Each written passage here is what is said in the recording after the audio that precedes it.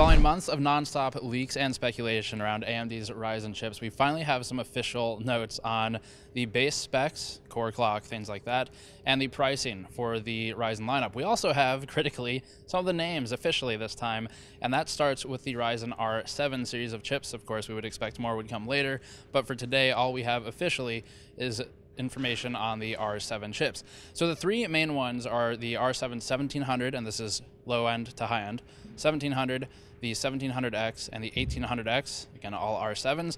And the prices for those in order $330 for the R7 1700, 400 for the 1700X, and 500 for the 1800X. Before getting to the core specifications for the rest of the products, this coverage is brought to you by our Patreon backers at patreon.com slash gamersnexus if you want to help fund more on-site coverage like this. For each of these chips, we're looking at the Ryzen R7 1700 at 3.0 gigahertz for its base and 3.7 for boost. There's also XFR for these products, of course, but we don't have full specifications on that just yet. Let's go through the specs for each of the three chips that was announced today. The R7 1700, all of these are 8 cores and 16 threads. Its base is 3.0 gigahertz, boost is 3.7, and TDP is 65 watts, and that's the $330 chip. The R7 1700X, also 8 cores, 16 threads, 3.4 gigahertz base, 3.8 boost, 95 watt TDP at $400. And the 1800X is a 3.6 gigahertz chip base and boosts to 4.0. Again, there's some XFR headroom in there as well that we'll talk about more in the review, which is forthcoming. Uh, and that's the 95 watt TDP chip as well at $500. In terms of availability, these are all supposed to be available on March 2nd. So that's when they will actually be available to purchase. Uh, probably our review will go live around the same time or on that day. These will technically be available for pre order as of today, but as always, we recommend waiting for our review no matter what the product is game, hardware, software.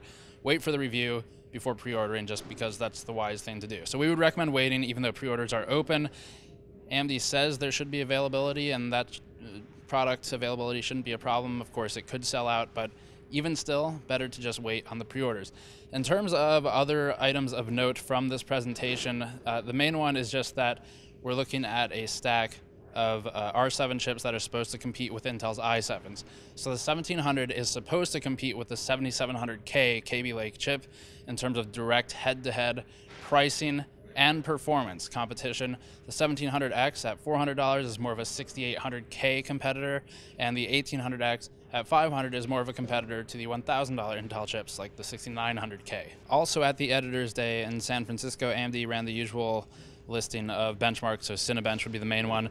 And side-by-side performance comparisons with Intel CPUs are similar to what we've seen at previous Editors Day events, like the Sonoma one, uh, but they were kind of reiterated here. Now, these are all, the numbers we're about to show you are all AMD internal, so again, usual grain of salt with uh, manufacturer benchmark. We'll run our own, of course, but to give you an idea of where things stack up from AMD's own testing, we're looking at the R7 1700X placing a CB score of 1537 with the system that they used, and the i7 6900K placing a CB score of 1474. So that's a slight improvement on AMD's side.